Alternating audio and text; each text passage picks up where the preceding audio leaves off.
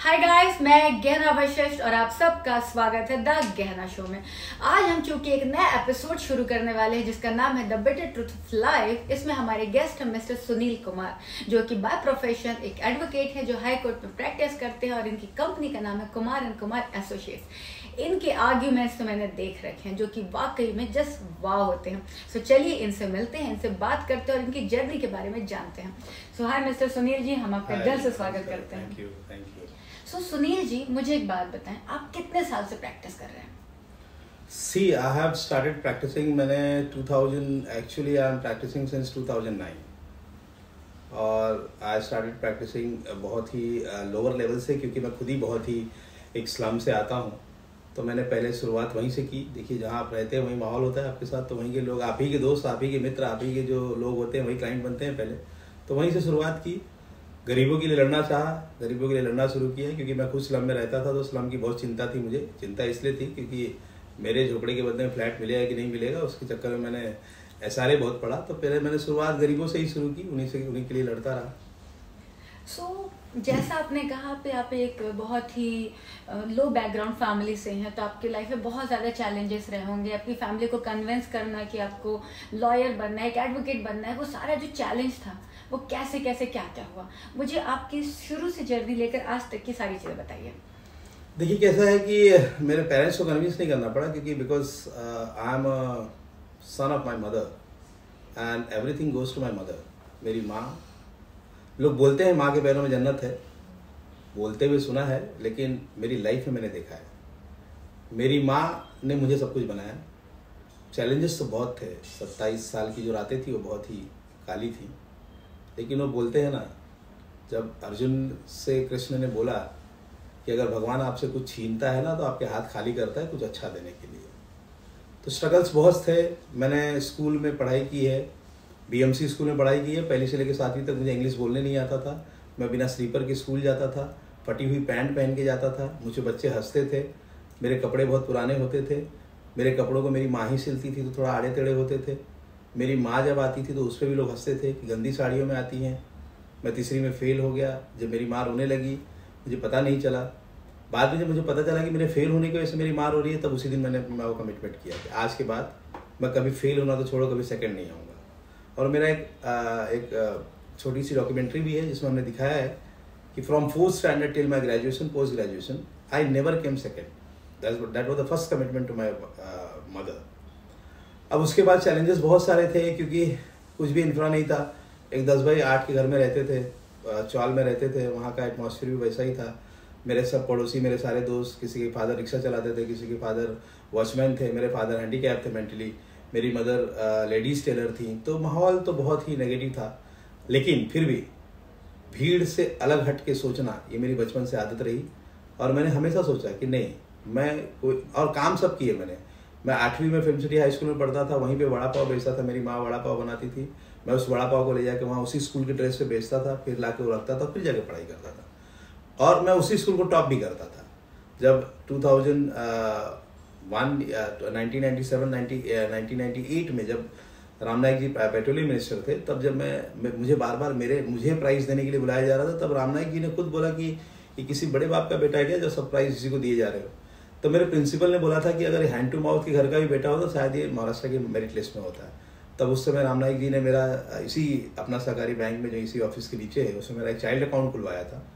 उसका नंबर भी अभी तक मुझे याद है because that was the amazing amount five thousand which was given by him to me five thousand और उसका अकाउंट नंबर मुझे याद है double two one six eight of nineteen ninety seven तो इस तरह से जर्नी शुरू हुई। जर्नी शुरू होने के बाद इसमें सबसे ज़्यादा सपोर्ट अगर क्रेडिट जाता तो that goes to my mother और uh, मदर का इसलिए है क्योंकि मदर मेरी आ, काम करके मेरी मुझे मेरे भाई को और मेरी बहनों को पालना पाल के बड़ा करना बीएमसी में पढ़ाना हमारे पास दवाओं के भी पैसे नहीं होते थे। हम बीएमसी स्कूल में लाए बीएमसी हॉस्पिटल्स में दो रुपए की मेरी माँ चिट्ठी लेके हमारे लिए लाइन लगाती थी हमको दवा मिल जाए। फिर उसके बाद बीएमसी स्कूलों में जाना। फिर फ़ीस के लिए टॉपर होते हुए भी स्कूल के बाहर खड़े रहना। ऐसे सारे बहुत सारे स्ट्रगल्स किए। स्ट्रगल करते करते यहाँ पहुँचे। सो so, जो आपका पहला केस था लाइफ का पहला केस हम्म। वो कौन सा था और किसने आप पे पहली बार ट्रस्ट किया था आपको जब उसने केस दिया था? वो कौन था? हाँ मज़ेदार केस था। एक्चुअली वो मैं जहाँ रहता था चौल में वहीं था। और वो दिन मुझे याद है वो fourteen day fourteen February February था वैलेंटाइंस डे था। और उस दिन सब लोग कोई कोर्ट वोट गया नहीं। मुझे बोले यार आज कोई आने तुम भी घर ही रहो। तो मैं भी घर ही था तो मेरे ही चौल में बीएमसी वाले अचानक आए। और एक चार घरों को अचानक तोड़ने की कोशिश की। तो जब मैंने देखा कि बोला यार तो मैं मैं देखा, मेरे घर वाले तो मेरे ही पड़ोसी को तोड़ रहे तो मैं भी एडवोकेट था, मुझे भी एक जज्बा था कुछ अलग करने का, मैं गया सीधा। तो मैंने उनसे पूछा कि कैसे तोड़ रहा है, आपके पास नोटिस है? तो वो बिना नोटिस के तोड़ रहे थे क्योंकि हमारी झुग्गी झोपड़पट्टी थी तो झुग्गी झोपड़पट्टी में कौन सा नोटिस लेकिन जब मैंने उनसे सवाल बहुत बोल्डली पूछा कि आपके पास नोटिस है, अगर नोटिस नहीं तो आप नहीं तोड़ सकते हो। तो इस बात पे उनका घर उस दिन वो नहीं टूटा, और जब उस दिन नहीं टूटा तो उनका फ़र्स्ट कॉन्फिडेंस डेवलप किया मैंने अपने अंदर। फिर जैसे ही वो बीएमसी वाले चले गए तो उन्होंने मुझसे आके पूछा कि इसके आगे सर क्या करना है? बोला, इसके आगे अब कोर्ट चलना पड़ेगा। और वो डेवलपमेंट ऐसा था कि फिर उन्होंने मुझसे फ़ीस पूछा तो मैंने 2009 में अपनी पहली फ़ीस बोली थी दस हज़ार ईच मतलब चालीस हज़ार रुपये टोटल और चालीस हज़ार में से बीस हज़ार जब उन्होंने मुझे दिया ना तो बीस हज़ार मुझे लग रहा था बीस करोड़ के बराबर है। कितनी शांति मिल रही थी। और मेरी माँ को तुरंत ले जाके दिया मैंने अम्मा, टेंशन मतलब छः महीने का टेंशन तो खत्म। और वो एक ऐसा ट्रस्ट था अभी आज भी मेरे पड़ोसी हैं आज भी वो लोग मुझसे मिलते हैं। वो फ़र्स्ट केस था जो मैंने उनको स्टे दिलाया उनका विश्वास जीता और वो स्टे बाद में मेरे लिए एक सर्टिफिकेट बनता गया। वाह लोगों को वैलेंटाइंस डे के दिन गर्लफ्रेंड मिलती है ना केस मिल गया केस मिल गया। सो so, पहली सैलरी वाज 20000 20000 या जो आपने लाइफ में जो पहली बार जो पहली कमाई आपकी थी आपकी मेहनत की कुछ भी रही हो कुछ भी आपने किया आपकी पहली कमाई क्या थी? पहली कमाई अगर बोला जाए देखा जाए तो फिर जब मैं देखिए पहली कमाई तो मेरी 160 170 रुपए रोज हुआ करती थी। हम्म। क्योंकि मैं तो आठवीं से ही वड़ा पाव बेच रहा हूँ होटलों में वेटर का काम कर रहा हूँ मैं पोछे लगा रहा हूँ मैं जूते साफ़ कर रहा हूँ मैं भाजी बेच रहा हूँ तो सौ रुपये पचास रुपये तो मेरी रोज कमाई हुआ करती थी। लेकिन मेरे अंदर एक आत्मविश्वास था कि भाजी जब मैं पिक्चरें भी देखा करता था ना तो मैं जो लेबर होते थे उनको नहीं देखता था। जो बॉस होते थे उनके दे, उनको देखता था। मैं सोचता था ये लेबर हो सकता ठीक है लेबर तो मैं भी हूँ। ये बॉस कैसे बना? वो सोचता था मैं। तो पहली कमाई तो मेरी जब मैं तेरह साल का था तभी से शुरू हो गई सौ रुपया पचास डेढ़ सौ रुपया ये हमारा रोज का कमाई हुआ करता था जिससे हमारा घर चलता था थर्टीन ईयर्स की उम्र से। सो so, ये जो आपने पहला केस हैंडल किया वो तो प्रॉपर्टी रिलेटेड था। जी। जो पहला केस आपने कभी जो पहला क्रिमिनल केस था हाँ मेरे पास एक पहला क्रिमिनल केस आया 2010 में वो तड़ीपार का केस था एक मसीउल्ला करके मेरा क्लाइंट था हम्म। जिसके ऊपर टोटल 27 केसेस थे। अब वो मेरे पास आया और वो जब मेरे ऑफ़िस में आया मेरा छोटा सा ऑफ़िस था उसमें आया वो लोग। और आए बैठे और मुझे बोले कि सर ये केस है मैं समझा। मैंने अपनी फ़ीस बोली कुछ उस समय एक लाख रुपये 2011 की बात है। तो मुझे वो वाक्य बड़ा अजीब सा लगता है क्योंकि उसने उसके साथ उनके साथ जो आदमी आया था थोड़ा गैंगस्टर टाइप का था तो उसने एक लाख रुपए की जगह सवा लाख रुपए दिए। और बगल में रिवॉल्वर भी रखी है। Okay. और मुझे ये बोल के गया कि सर ये काम हो जाना चाहिए। Hmm. तो मैं जब किस मैंने एक मेरे मित्र हैं एडवोकेट उनसे पूछा तो उसने मुझे बताया यार मुझे ये सब पैसा दिया तो अच्छा लगा पच्चीस हज़ार ज़्यादा ही दिया अच्छा ही लगा। हाँ. रिवॉल्वर क्यों रखा? तब उसने मेरे दोस्त ने बताया कि भाई उसका बोलने का मतलब है कि नहीं हुआ तो सोच लेना। तो फिर मैंने अपनी पूरी ताकत लगाई बोला हो ही जाना चाहिए। लेकिन ठीक है फिर भी मैं भी बचपन से बहुत डेडिकेटेड हूँ। देखिए मेरा एक नेचर है कि अगर जैसे कोई बोल दे कि आप ये नहीं कर सकते हो तो फिर वहीं से मैं शुरू करता हूँ। कि ये क्यों नहीं कर सकते हैं? वही सोचता हूँ बस मैं। सो so, जब आपने वो एक लाख की बजाय सवा लाख रुपए लिए साथ में रिवॉल्वर रखा था आपको रात को नींद आई क्या? देखिए एक बात आपको बताता हूँ मैं। नींद हाँ. नींद तब नहीं आती है ना जब आप उस जब आपके मन देखिए मेरा एक एक छोटा सा सोच है। जब आपका अपने आप पे भरोसा होगा ना तो दुनिया आप पे भरोसा करेगी।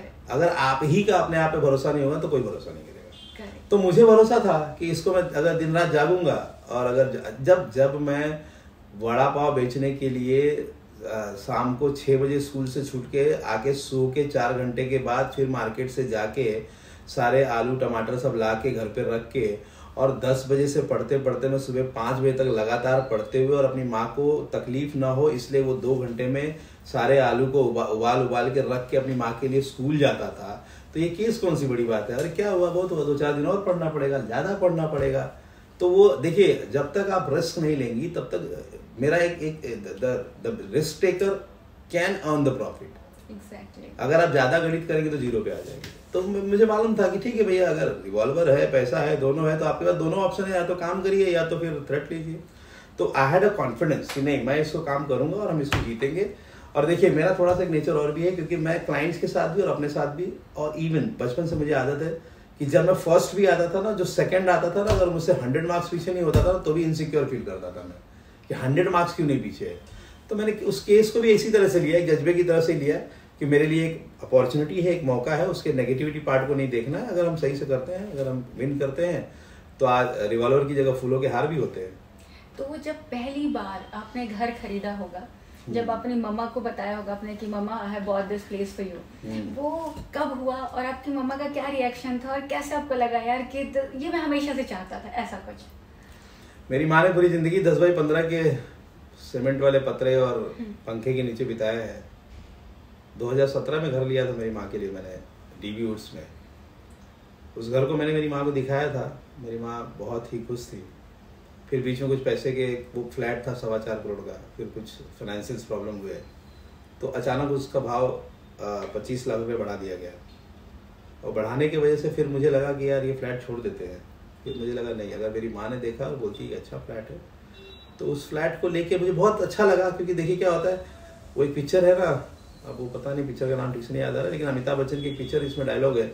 अमिताभ बच्चन एक लैंड खरीदने जाता है जाते हैं। हम्म। और उनको कुछ पंद्रह लाख रुपए बोलते हैं। तो बिना किसी सौदे वौदे के पंद्रह लाख दे देते हैं। तो शायद उसमें कौन है वो अपोजिट कैरेक्टर वो बोलते हैं कि आपको आपको सौदा करने नहीं आता है। तब अमिताभ जी बोलते हैं कि शायद आपको भी सौदा करने नहीं आता है। तो पूछते ऐसा क्यों? तो वो बोलते हैं कि अगर आप इसका बीस लाख भी मांगते तो दे देता मैं। तो बोलते ऐसी क्या खास बात है इस लैंड में? बोलते क्योंकि ये वो लैंड है जहाँ पे मेरी माँ ईटे उठाया करती थी। तो ठीक उसी तरह से वो डीबी वुड्स था, जहाँ पे मैं और मेरी माँ साथ में भाजी बेचा करते थे। तो जब उसने पच्चीस लाख बढ़ाया तो उसको लगा बहुत ज़्यादा कमाया। लेकिन मेरे हिसाब से कुछ नहीं कमाया क्योंकि वो भी शायद पचास लाख माँगता तो मैं दे देता उसको। तो बहुत खुशी का दिन था। My mother was also very happy she also very happy और हर घर का, बॉम्बे में हर घर का सपना है, हर घर का, हर घर को, हर हर आदमी को अपना घर चाहिए। तो हर आदमी को खुशी होती है। और अगर आप खुद से करते हैं, इतना नीचे से आके करते हैं तो आपको और खुशी होती है। Actually that is commendable so यहाँ तक थी इनकी जर्नी इसके आगे हम कवर करेंगे अगले एपिसोड में। Till then bye